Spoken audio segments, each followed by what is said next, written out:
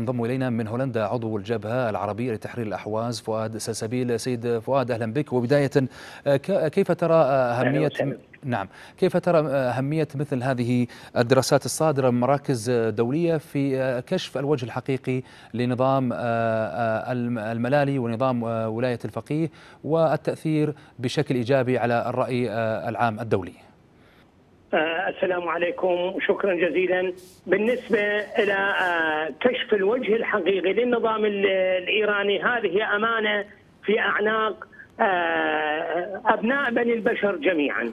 لأن هذه الدراسات تكشف الوجه الحقيقي وما يدور خلف الستار للنظام الإيراني. النظام الإيراني يرفع شعارات الحقيقة ولكن دون تطبيق. يدعي بالإسلام وهو يذبح المسلمين يدعي بالإنسانية وهو ضد الإنسانية وهذه الدراسات وغيرها والبحوث هي تعطي للقارئ وتعطي لأصحاب الحق حقوقهم لأنها لأنها تخرج ما مخبأ تحت نعم.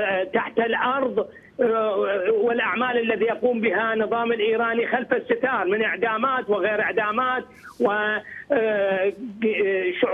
الشعوب غير الفارسية ومنها الشعب العربي الأحوازي نعم والظلم الذي يجري عليهم والاعتداءات على السعودية وغيرها. هذا هو الوجه الحقيقي للنظام الإيراني. نعم. أستاذ أستاذ فؤاد يعني الاتحاد الأوروبي يبحث الآن العقوبات على إيران في الوقت الراهن.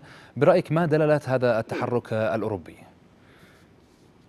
والله تع... لأن لأن العالم سئم من النظام الإيراني. فهذا البحث في إيجاد عقوبات أو أي شيء هو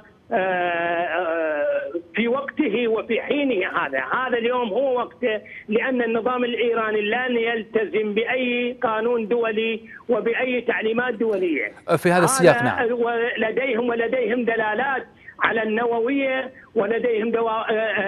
على الصواريخ البالستية وكل دلالات نعم. الإجرام الإيراني موجود في يدهم نعم, نعم وفي هذا السياق السياق أستاذ فؤاد هل تتوقع أن يكون هناك توافق أوروبي أمريكي بشأن الملف النووي الإيراني؟